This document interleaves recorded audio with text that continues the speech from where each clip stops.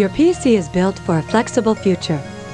Next to the microprocessor, you may find one or two empty chip sockets. If your microprocessor is a 386 or earlier model, one of these sockets is for the Math coprocessor.